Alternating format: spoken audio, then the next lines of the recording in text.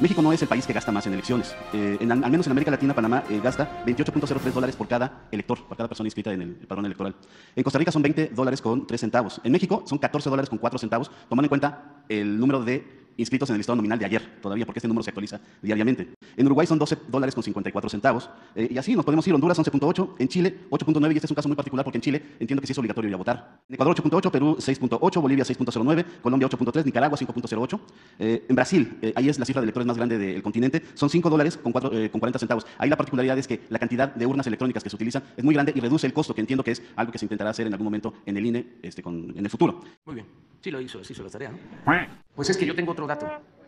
A ver si este, pones el, el informe de nosotros. Pero ¡Producción! muy buen trabajo.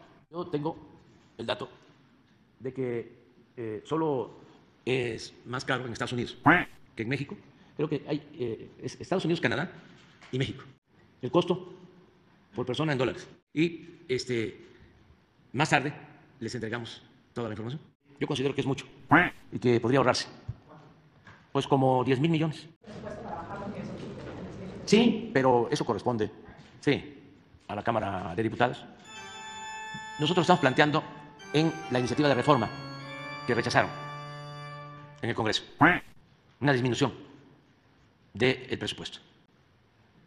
Lo vamos a, a- a volver a plantear porque antes de que yo termine voy a enviar una iniciativa de reforma a la Constitución en lo electoral. Voy a enviar también una iniciativa de reforma para que jueces, magistrados y ministros los elige el pueblo.